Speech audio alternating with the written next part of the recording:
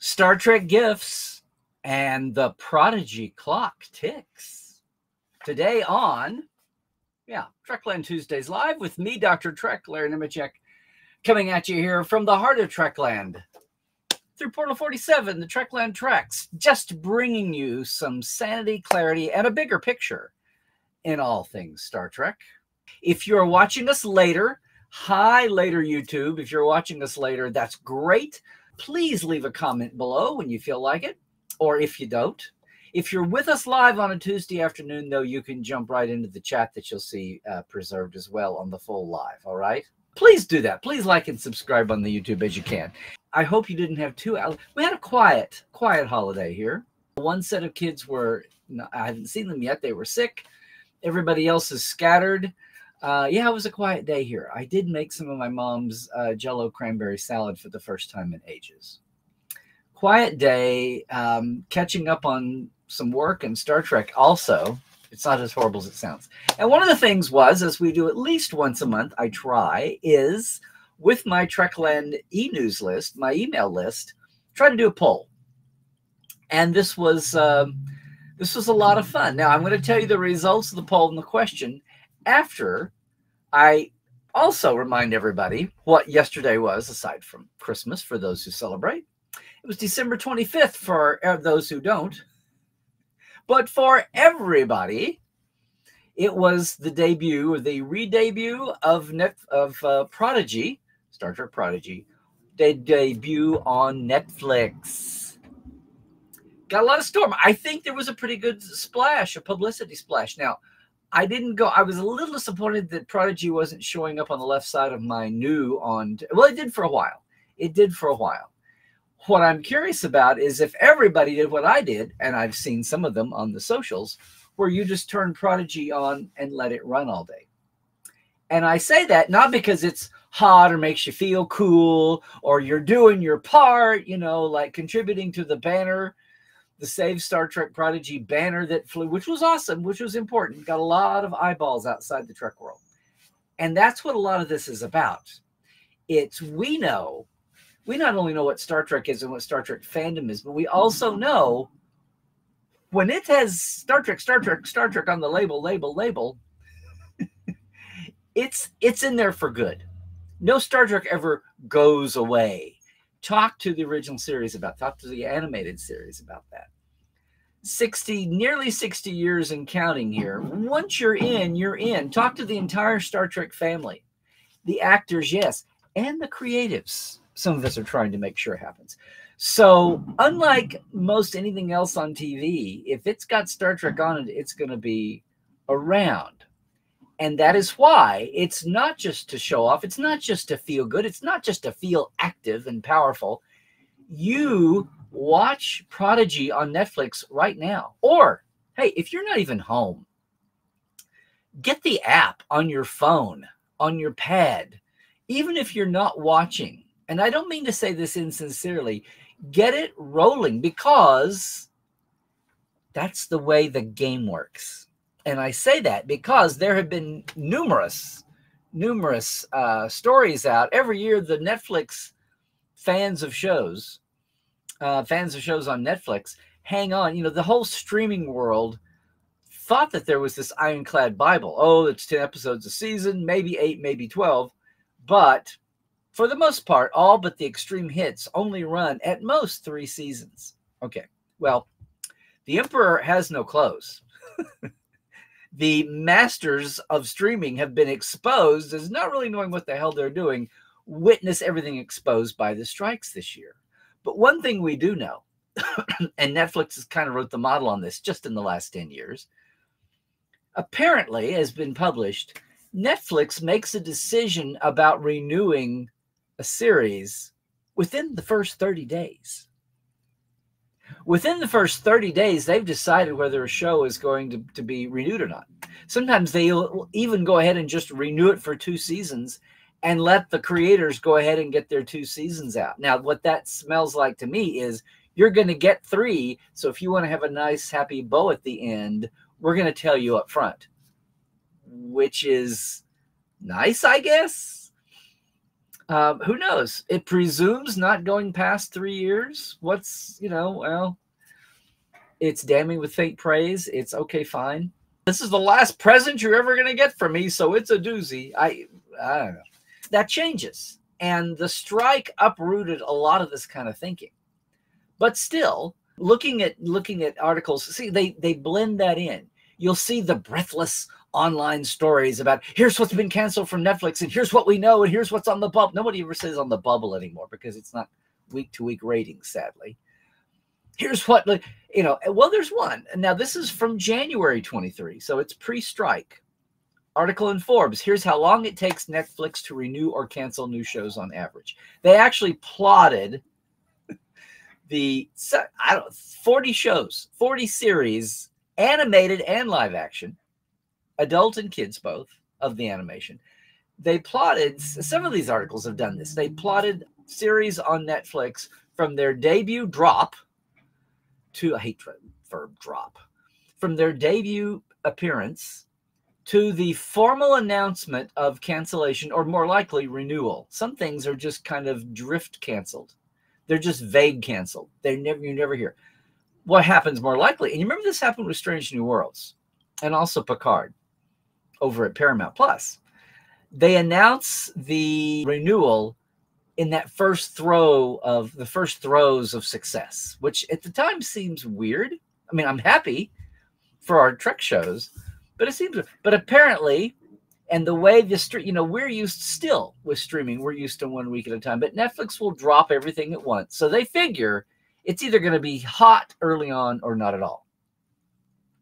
And we waited for Prodigy week by week, but this is a slightly different critter.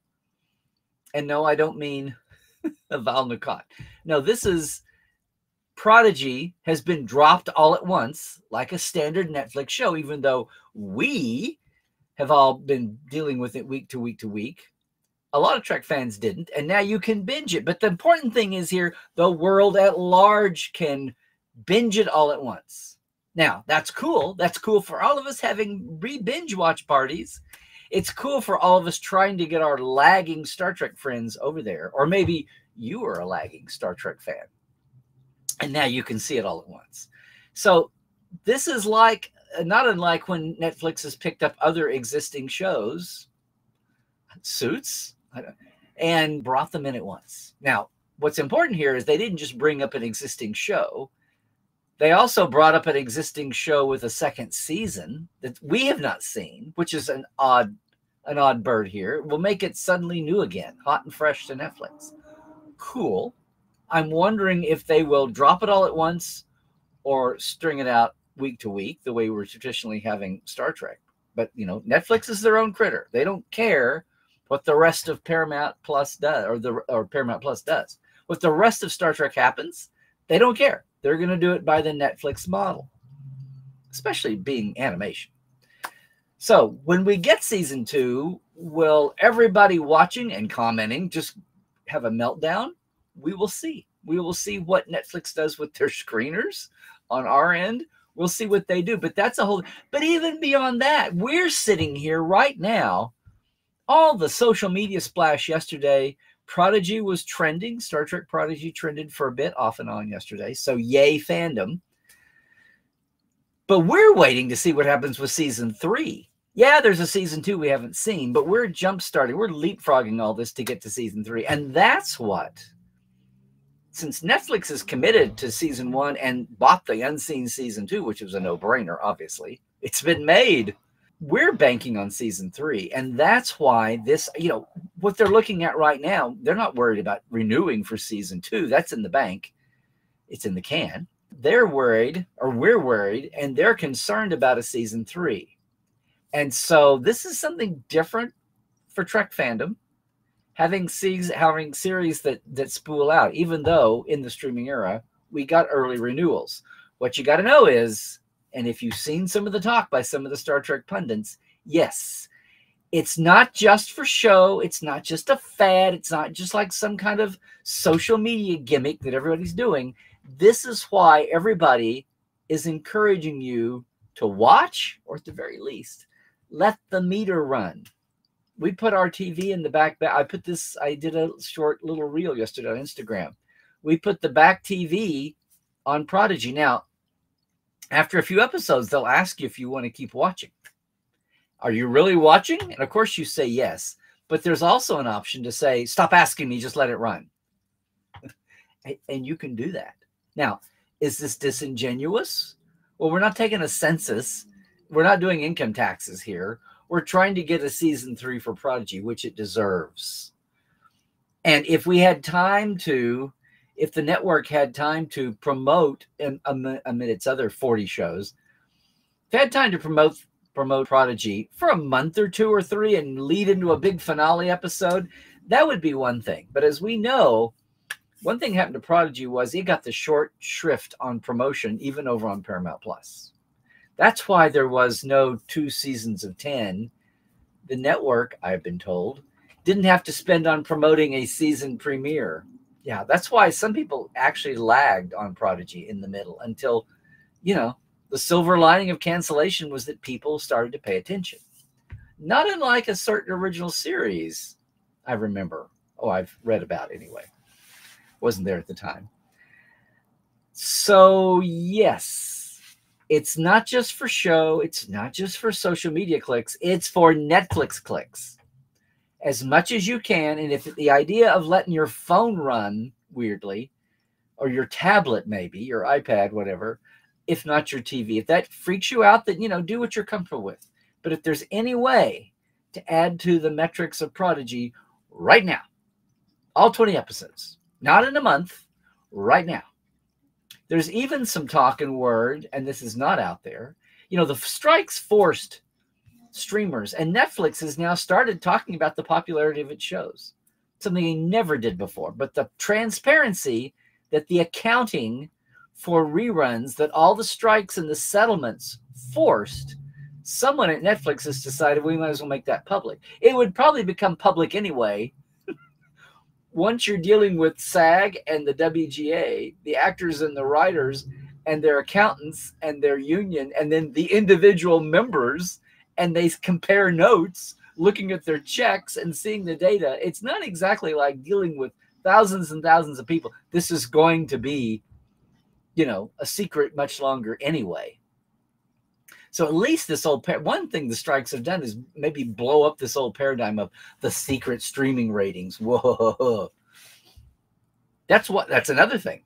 But here's Netflix, and I guess good on them, thinking rather than just have that dribble out, they're going to get on top of it and make some hash out of that. They're going to get on top of that and make something out of it, make gold out of the information for publicity and promotional purposes, right?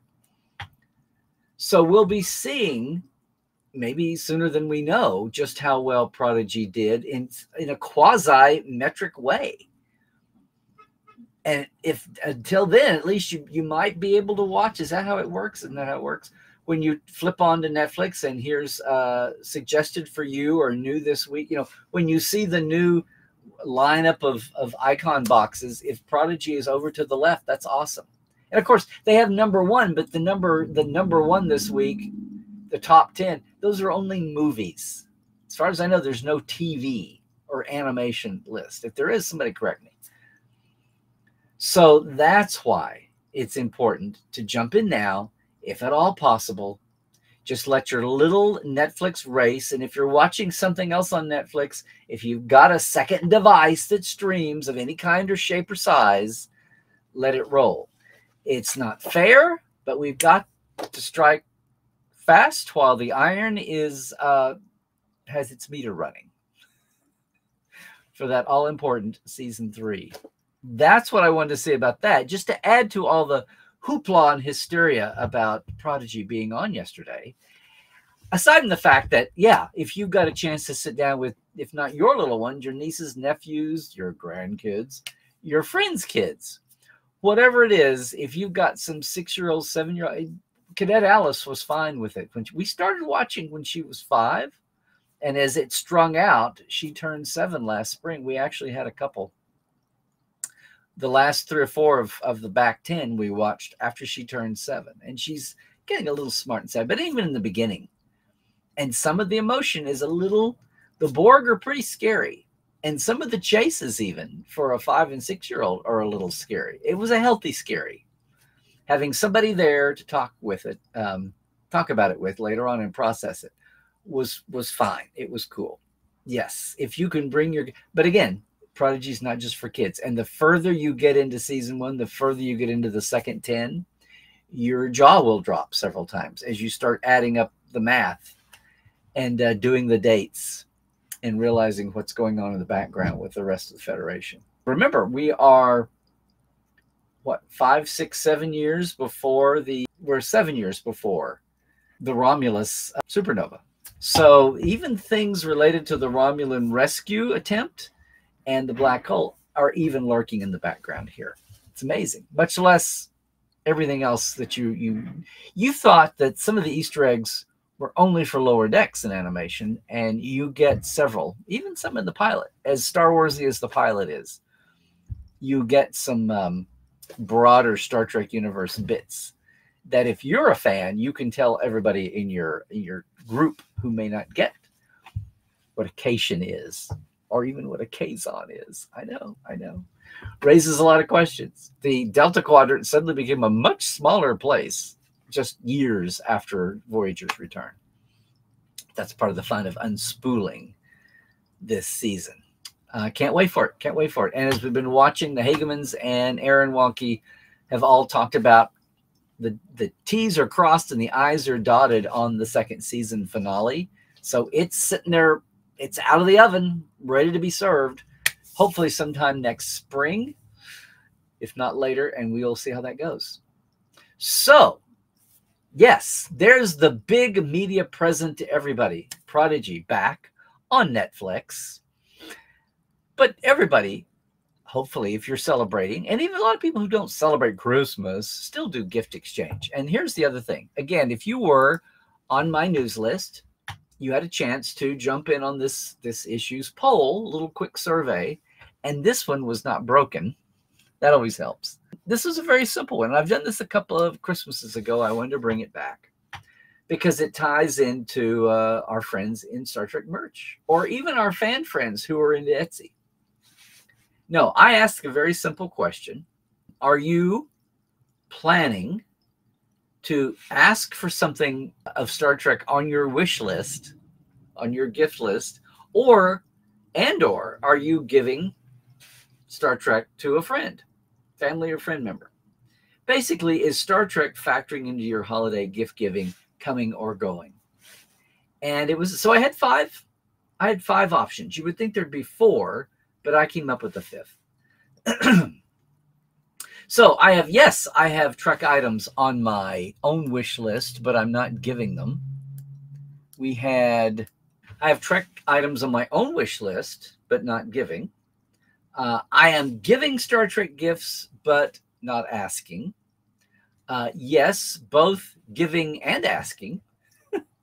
and none for me either way, which you would think would be the natural four. I added a fifth. I said none for me, but within my family, yes, my my nodal group, my nuclear hub. So here's what's um, here's what's interesting nobody on my list who answered. And we what did we do? We didn't have a huge turnout. We had about uh oh, yeah, only about 5%, which in the holidays isn't bad. It was enough to make a definite trend line, I'll say that. So here we go. None for me, but in the family, uh nobody. Nobody said that.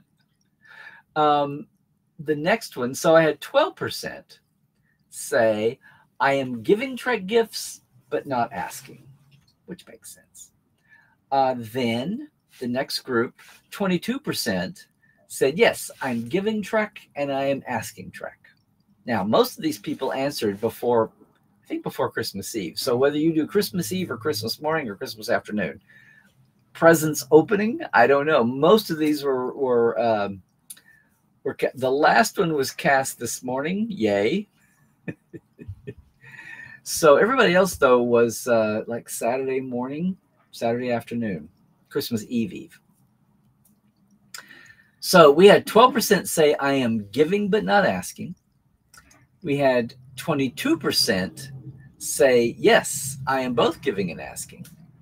I had a whopping nearly 32%, though, say, none for me either way, which is fine. That's cool, interesting.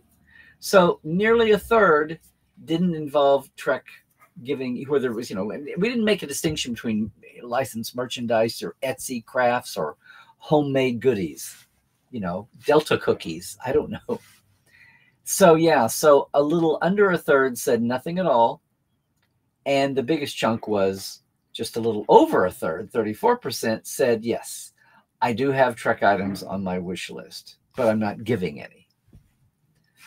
So that was a healthy chunk, though. 22% said, yes, I'm giving and asking. I'm sorry, I say healthy. I'm talking about just numbers. I'm not talking about your attitudes being healthy or not healthy. Everybody is, of course, free to do what they want to do. I was just curious to see. I know, I ask late, so that's on me. But I was just curious to see what the gift giving was going to go with as far as Trek folks. So there we go. That's that. Again, I hope everybody had a safe and warm, you know, and if you were, if you found yourself by yourself, by yourself, hope you reached out, hope you, you know, there's always Zoom now there's always places to get to. Nobody does nobody deserves to be alone totally unless unless that's your choice. A lot of people enjoy the quiet out of the crazy. But uh, hopefully you found whatever suited you here at this time of year because it can be rough on people. I know. Hopefully we as I say we had a quieter one here than usual, but we the former assistant script coordinator and I had had each other and had some folks too at the same time. And yeah, sure, TV. And so those Christmas Eve football games didn't quite go the way I wanted. But that's another story. That's another podcast. Hey, everybody. Thank you so much for joining us here on a Tuesday again. Um, yeah. Yeah. I just wanted to say again what was lost in all the, the, the uh, prodigy hoopla was that there was a method to the madness aside from the yay factor of having everybody blitz as much as they could. Blitz watch. That's one beyond binge watch, I think. Blitz watch. I just created that hashtag Blitz watch. There you go. But listen, thank you, thank you. As we wrap up this year, gonna have another. We're gonna have a look back episode next week. I have a couple things in mind for next week and a couple surprises. It's still in the planning stage. We'll be doing some more look back. But as I look back right here, I have to thank all of our Patreon folk for helping out. I've kept the Patreon small, not by design. I've kept it humble. And many of you have jumped in over the years, and a lot of people have stuck with it. I thanks thanks to everybody who has been in my Patreon at any time, and a, a huge thanks to everybody who's in right now, obviously. So yes, thank you, Diana Hopkins, Robin Wilson, Lawrence Todd, Anne Marie Siegel, Justin Porteous, Galinda Bruton, Chris Jiggins, Pranikasha Productions, Comedy Forecast, and Andrew Jazimski. And then our live wires, our big second tier giving. Thanks so much, Rob McLean, Byron Bailey, J.R. Poole, Halbert Gunnjonson, Andrew Huensi, David, Dave Gregory. I can call you David, can I? Uh, Tobias Rex, Donna S. Runyon, and Casey Shafsky. Thanks so much, everybody. And if you're curious about this, if you're new going into the new year, yeah, it's just five and ten bucks. Patreon.com slash Trekland Live. Uh, that reminds me, I've got to get the new batch of original Portal 47 earlier year backstage interviews out to all the TTLers. That's the that's the big break there in the five and the ten.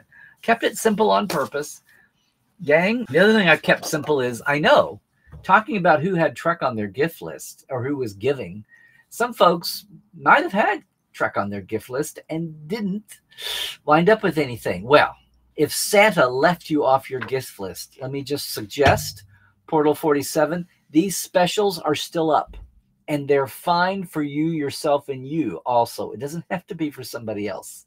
If you really want the box, well, we'll send the box anyway because you've got some swag in there too. But this special is going to be going on through New Year's Day. So jump in there too. And of course, if you don't want the big special, but you just want to come in the normal subscription, that's an option too. You know, Portal 47 is your minicon all year long. We have a it's up to 10 features a month. That includes the recordings of the lives. We have two round tables. If you can come to the midday one with the Europeans, it's like it's so great to be hooked in with your global fellow Trek fans. That's cool too. And of course, our guest night tomorrow night is going to be the great Mike Sussman. If you're in Portal 47, that's Wednesday night. It's going to help us clean out a wonderful, a wonderful 2023. Uh, I I don't want to judge among all our guests. We had so many awesome ones. We had so many from the current series this year, which is great. Started this when there was no current Star Trek. Starting our ninth year and helping us kick off the ninth year for Open House. I hope you made it live. And if you didn't, I hope you can make it live next year. The great Nick Meyer. And we actually talked about something newer than the Wrath of Khan and Star Trek Six his Khan miniseries and made some headlines. So thank you, Tony, for doing a story there. Hey, um, and everybody that picked it up, you know, in the copycat version, everything is so incestuous in Star Trek news, but that's the interwebs. Thank you so much for that. And yeah, as you look at your new year and you want to do a little traveling and you come to LA, don't forget we will set you up with your own customized away mission Trekland Treks, treklandtreks.com. Check it out. I will help you set it up. There's over 50 places now to pick. Some of them I have not been to. I'd love to go research it. Some of them are your old favorites. Whatever it is, we'll pick you up. We'll get you back to your hotel. We'll wrangle your props and your cosplay, take your pictures, make it a memorable day that you'll never forget. And, you know, it is LA. It's a little on the chilly side times, but January and February, half the time it's wonderfully warm and liable to be much much more hospitable than where you are anyway it's a brand new year coming up and love to love to love to get back uh, sharing those away missions with everybody all right that's going to do it for today that's going to do it for 2023 now hang on uh, if you're with us live, we'll be back here with the chat in just a second. But if you're leaving us on YouTube now, again, thanks for joining in. Hey, there's lots of evergreens here in our channel. Don't forget you can go over and catch Cadet Alice. I just posted a new Cadet Alice in honor of Prodigy's debut on Netflix. We're just about to the end of the season run. I think this was one um 115 I think. Yes, 115. So we've got four more to post with my granddaughter, Alice. Uh, she's seven, and it's awesome. It's, it's as much fun to sit and watch Prodigy with her and talk about it as it is to get the perspective of our European and global fans. I should say that. We've got Aussies, Narda. I know you're out there. We have all kinds of folks um, in around. That's why I do this at this time of year. So if you're watching this later on on YouTube, thanks so much. Give a listen on Tuesdays Live when you can, and check out the rest of the entire Trekland. We even have Life Support live is still up. My two-year pandemic podcast I co-hosted with the great geek psychologist Dr. Ali Mattu. Uh, we had a great, great time. We'll still do occasional specials from time to time, but all 80 something episodes are still up there, and I think they're still pretty, still pretty awesome.